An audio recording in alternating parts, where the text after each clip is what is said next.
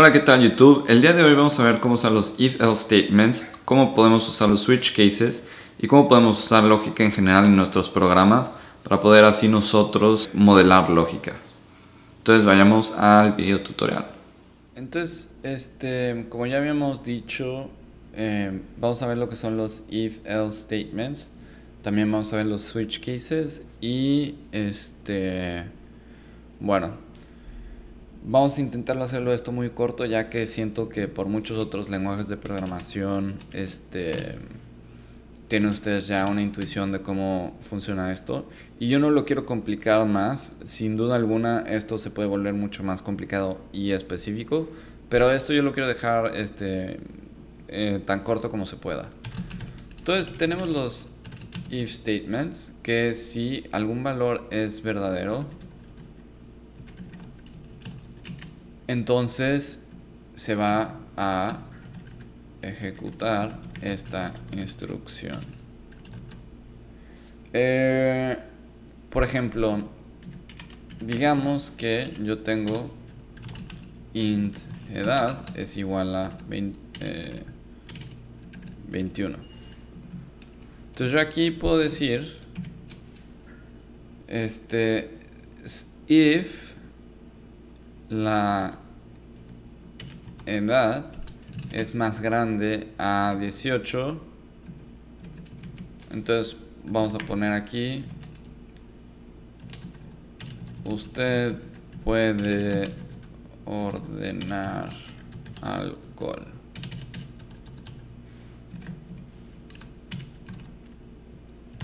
Entonces nosotros deberíamos de poder ver este statement. Y aquí está, usted puede ordenar alcohol. Muy fácil, muy sencillo. Ahora, también nosotros podemos este, agregar más a este statement. ¿Qué quiere decir? Podemos poner un else. ¿Qué es un else? E, esto está como conectado de, de alguna manera. ¿Qué quiere decir? Que aquí checamos si esta instrucción se cumple. Entonces podemos decir, si la edad es más grande de 18, entonces, este, eh, ejecuta esta instrucción. Cualquier otra cosa que pase, ejecuta esto y luego sigue con el código. Entonces, este, por ejemplo, si nosotros tenemos a alguien que tiene 16 años, nosotros podemos decir, este, usted no puede pedir alcohol. Entonces si nosotros, y le voy a dar clear, si nosotros volvemos a ejecutar el programa, .NET Run, debemos de ver el segundo statement. Y entonces aquí como pueden ver, dice usted no puede pedir alcohol. Entonces básicamente está checando si esto es válido. Si esto es verdadero, imprime esto. Cualquier otra este, no opción, cualquier otra, otro outcome donde esto no sea verdad, ejecuta esto. Ahora, ¿qué se le puede agregar a esto? Bueno, hay muchos grados de, de especificidad. Podemos hacer if else. Y aquí este, debemos de poner otro, otro check. Es mayor a 21. Y esto debe de estar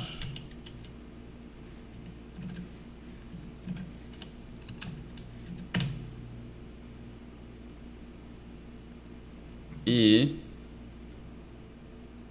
y creo que esto es por escribirlo demasiado literal. Creo que esto va al revés. Else if. Ok ya se quitó el error. Entonces vamos a y esto lo voy a quitar esto debe de ir más bien acá.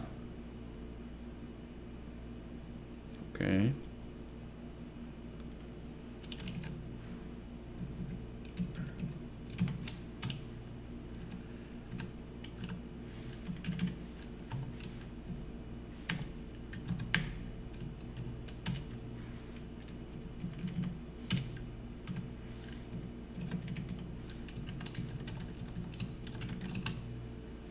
Vamos a decir, ok, si tiene 17 años, le vamos a dar chance de tomar, pero este, una copa y con supervisión. Usted puede tomar una copa, pero con supervisión de un adulto. No sé, por, por poner algo.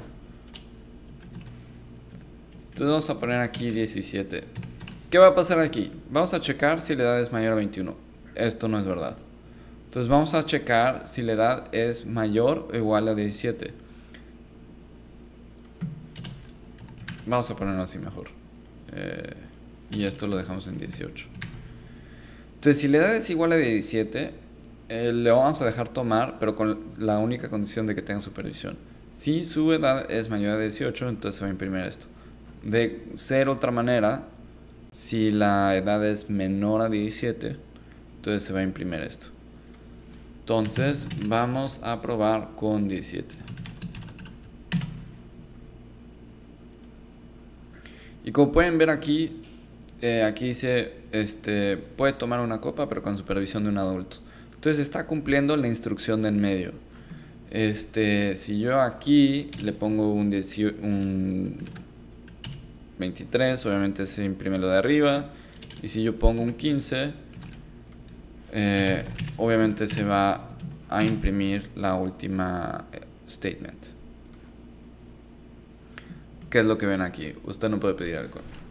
Entonces, bueno, esa es una manera de nosotros modelar lógica en C Sharp, que esto también estoy seguro que lo han visto en JavaScript o en Python. Bueno, en Python igual y el syntax es un poquito diferente, pero en realidad no hay mucha diferencia. Y también podemos hacer uso de los switch cases. Entonces, eh, vamos a hacer lo mismo, pero ahora con switch cases. Entonces si yo hago switch y yo puedo usar aquí un switch statement, el snippet. Este, vamos a poner edad. Y vamos a poner case. Eh, vamos a poner... Nada más me quiero guiar. Este es otro ejemplo completamente diferente.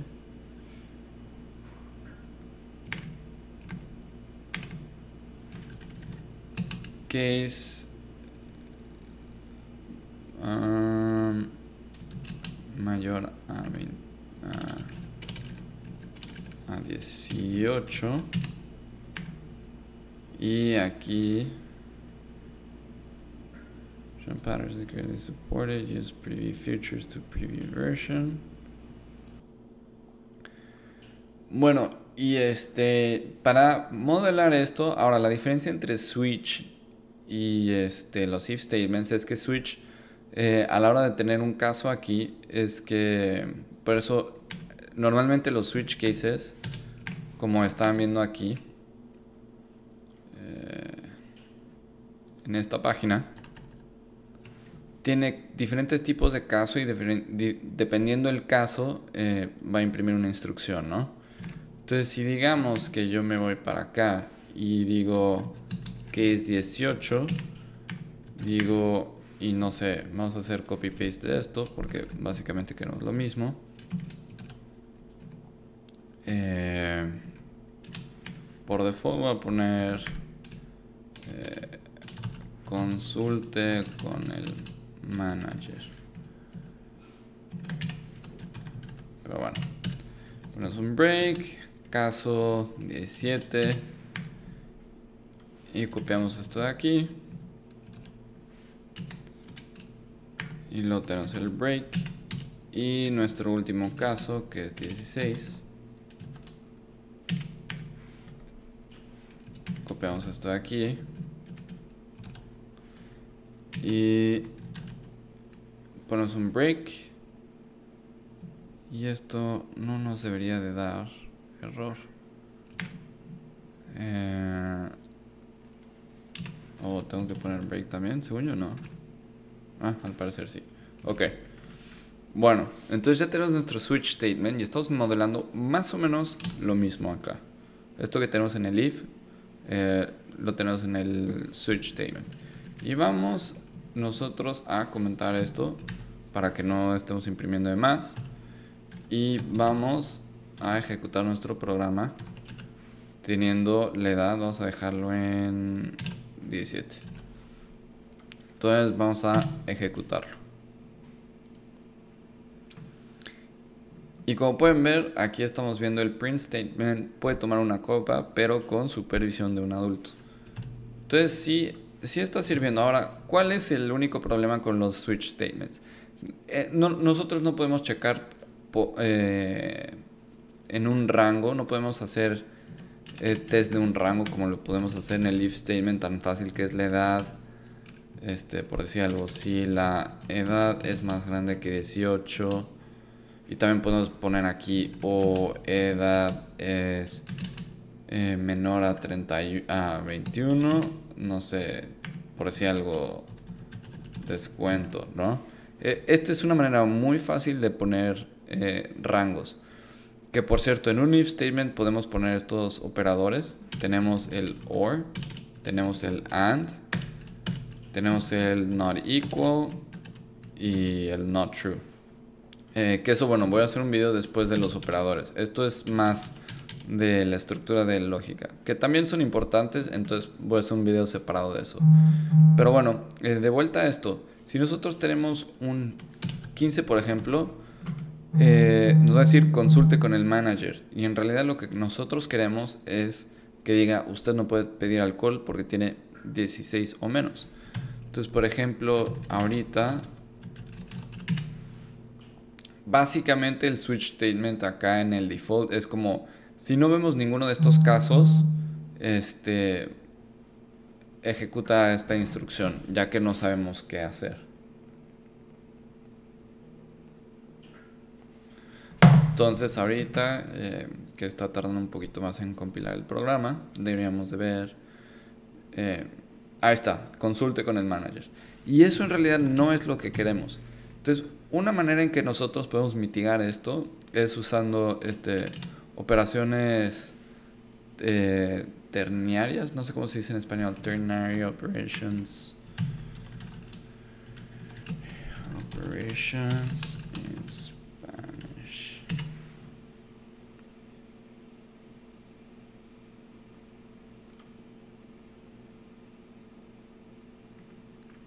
Pues no encontré la traducción, pero bueno, ternary operations. ¿Qué es un ternary operation?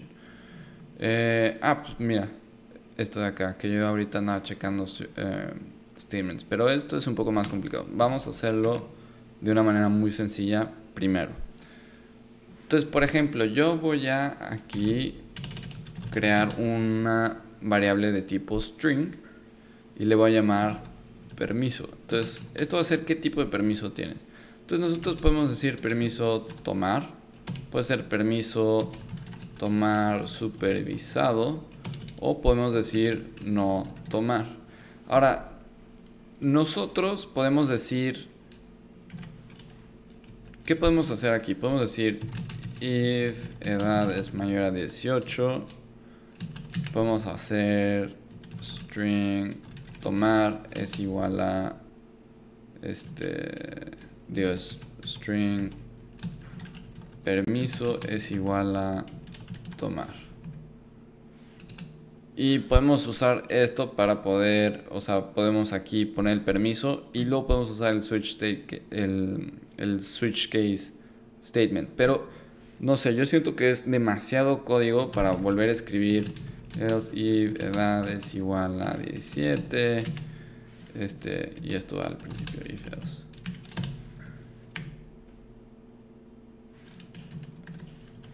eh,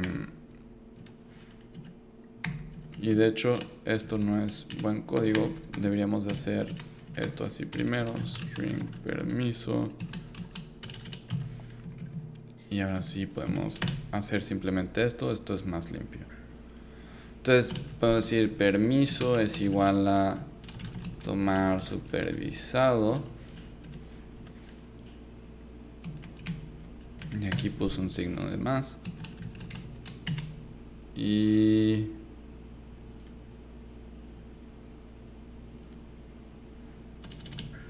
De nuevo, si lo había puesto bien y creo que lo puse mal. Else permiso es igual a no tomar. Ahora, como pueden ver, esto es demasiado solo para poder usar el case statement. ¿Por qué digo el case statement? Porque aquí, en vez de usar edad, yo puedo poner permiso y pongo caso tomar, imprime esto. Y así es como nosotros podemos checar por un, podemos hacer el uso de un rango y además un switch case statement. Pero esto es demasiado código. Entonces, ¿qué es un ternary operation? Ok, nosotros podemos decir, ok, el permiso que sea igual a tomar, o más bien, el permiso es si es mayor a 17 va a ser tomar. Y esto de, de, hecho es un signo de pregunta. De no ser así esto va a ser no tomar. Uh, y aquí estoy teniendo un error. Veamos que me marca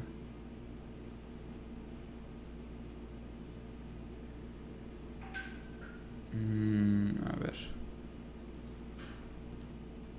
Ah, y esto es error mío. Aquí debería de ir edad y no permiso.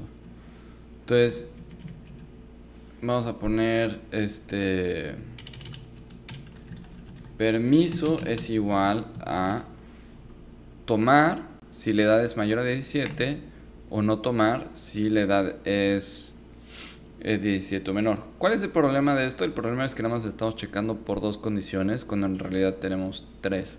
¿Cuál es una manera de mitigar esto? Bueno, aquí también podemos agregar otra condición donde la edad es mayor a 16. Entonces esto va a ser tomar supervisado. De no ser así, no tomar. Y entonces aquí yo ya puedo poner los casos diferentes dependiendo del permiso. Y yo aquí puedo poner tomar, tomar supervisado o no tomar. Entonces vamos a poner nosotros este 15. El 15 debería decir, debería ser no tomar, lo cual está eh, tomando en cuenta un rango. Entonces vamos a darle .NET Run. Y como pueden ver aquí, nosotros estamos viendo usted no puede pedir alcohol, lo cual quiere decir que está teniendo este caso, que es esto de acá, y está tomando en cuenta el rango de 16 eh, hacia negativos, pues. Ahora nosotros podemos también poner un, vamos a poner un 23 acá en edad, lo cual estamos teniendo este rango que es mayor de 17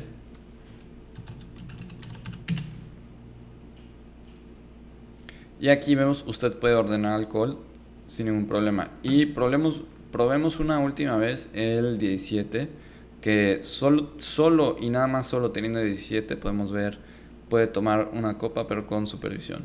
Entonces vamos a cambiar esto de acá a 17 y le voy a dar clear esta vez. Y ejecutemos el código.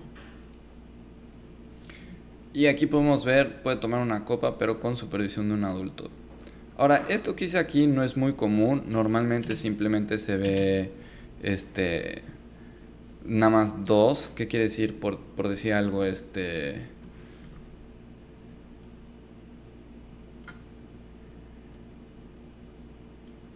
se ve esto de acá. Esto es lo más común, que son solo eh, dos condiciones. Entonces, para que ustedes no se hagan bolas, no, no, no se aprendan tanto lo que acabo de hacer. Lo que acabo de hacer es como un truco que se le puede agregar. Esto es lo que normalmente se ve, se ve en JavaScript, se ve en Python, que simplemente checas por dos condiciones.